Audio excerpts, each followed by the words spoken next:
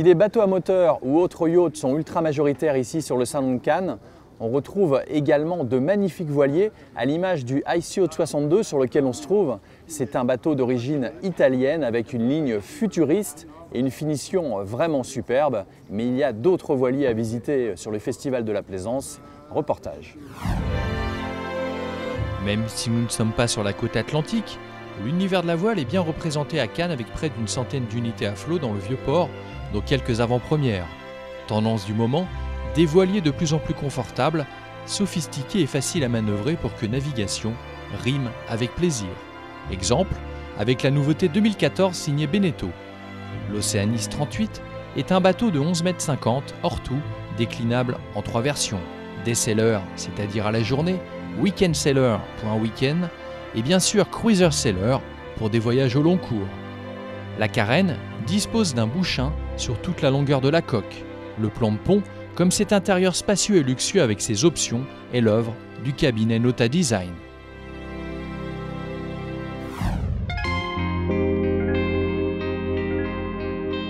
Un cran au-dessus, et dans l'esprit des voiliers que l'on retrouve en mer Méditerranée, la marque Ice Yacht arrive avec un magnifique 62 pieds signé en collaboration avec l'architecte italien Umberto Fecci, déjà connu pour son travail sur les voiliers du four. Celui-ci est un modèle hybride à la fois en carbone et en fibre de verre, fabriqué sous infusion avec une structure en carbone, des composants très rigides. C'est une pièce unique où les composants sont directement laminés dans la coque. Les intérieurs sont entièrement faits sur mesure, dans un esprit de luxe, avec une finition haut de gamme et dans l'ensemble du bateau. Le nouveau 62 est un croiseur rapide avec un intérieur spécifique, très confortable. À l'extérieur, vous êtes à bord d'une unité sportive et vous pouvez obtenir de bonnes performances en régate et arriver en très bonne position.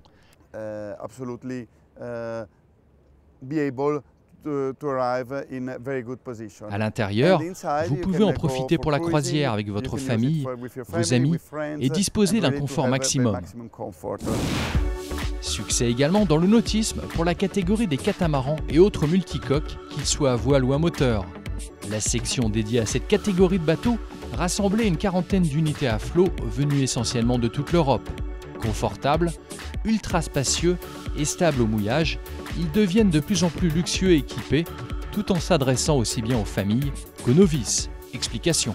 Il y a une diversité de l'offre. Euh, avant, c'était des bateaux un peu moyens, euh, un peu rapides, un peu confortables. Aujourd'hui, on peut aller vers le super confortable ou le super rapide et on a toute la gamme entre, les deux. C'est vraiment le catamaran s'est vraiment développé à, part entière comme un vrai segment de marché. Euh, donc ça a pris voilà, ça a pris 25 ans, 30 ans peut-être même, si on prend vraiment le début. Mais en, 30 ans, c'est devenu, euh, un vrai phénomène et je, vois que le, catamaran à moteur est en train aussi de démarrer, un peu comme le catamaran à voile, avec d'autres problématiques de place dans les ports. Il y a aussi un grand avenir pour ces bateaux-là.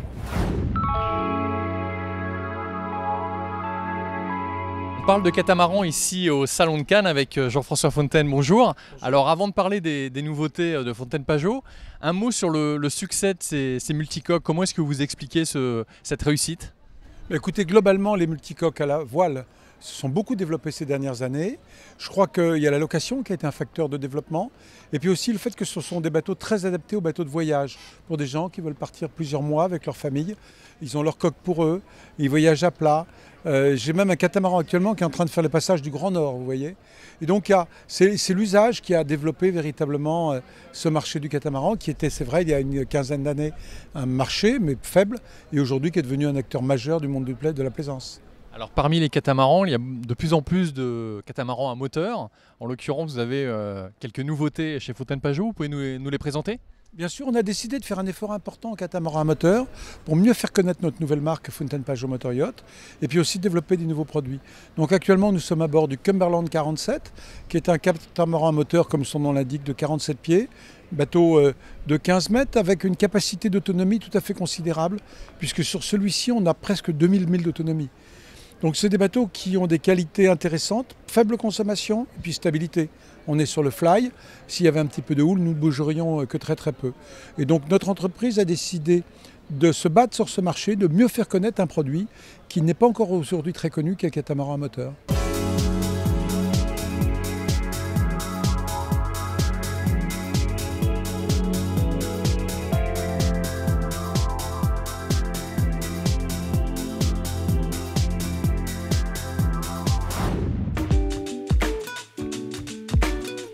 Catamaran à moteur également, l'Air 77 du chantier Oxygen Yacht était présenté en avant-première mondiale à Cannes. Un bateau inclassable de 23 mètres à peine, au design minimaliste, fruit de l'imagination d'un architecte français. Ce bateau, c'est avant tout une lutte contre la séparation de l'individu à bord d'un bateau. Et la séparation sur les bateaux comme ça, qui font 23 mètres de long sur 11 mètres de large, c'est la climatisation. Dès que vous climatisez un bateau, vous fermez les portes. Dès que vous fermez les portes, vous, séparez les parents, les enfants euh, qui passent pas leurs vacances ensemble. Donc j'ai voulu apporter un flux d'air suffisant pour ventiler un bateau de 23 mètres. C'est certainement le seul bateau de 23 mètres qui n'a pas la climatisation sur ce euh, chantier, sur ce festival. Et pourtant qui soit aéré, ventilé et à, température tout à fait envisageable. Donc ça c'est une première chose. Donc une immense ouverture à l'arrière, une baie vitrée, et une ouverture qu'on peut voir au-dessus de moi avec une porte qui s'ouvre avec une grande élégance euh, vers l'avant et qui laisse passer un flux d'air merveilleux pour ventiler le roof.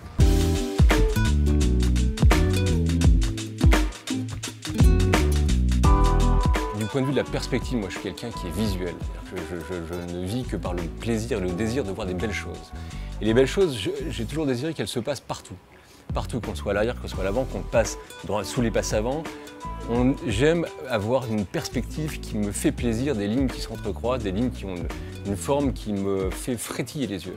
Et c'est ce qu'on a voulu faire à travers ce bateau, c'est trouver les lignes les plus, les plus intemporelles, c'est un terme facile, mais euh, imaginez un bateau qui ait pu être construit il y a 40 ans comme le même bateau qui puisse être construit dans 40 ans. C'est-à-dire que ce bateau, finalement, il est simple. Il n'y a aucune agressivité, il n'y a euh, aucun désir d'être différent. Il est simple, quand on le regarde de loin, les lignes sont juste tirées comme ça, il y, a, une espèce de bandeau qui fait les passes avant, qui a une, grande douceur.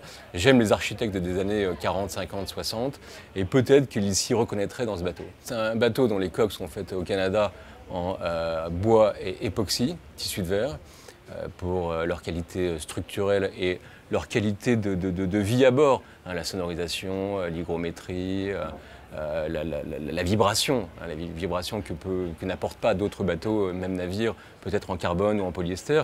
Je m'engage un petit peu, mais en tout cas, ce, bateau a un, grand confort dans les cabines.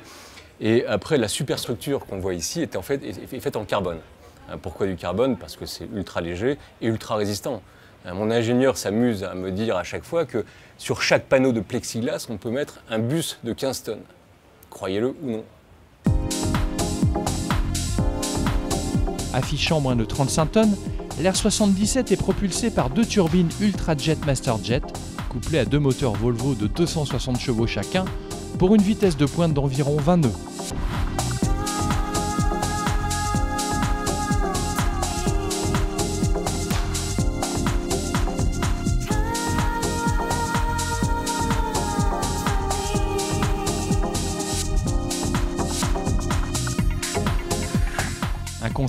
Très original qui dépasse les 4 millions d'euros côté tarif et aura le mérite d'avoir créé le buzz sur le Salon de Cannes 2013.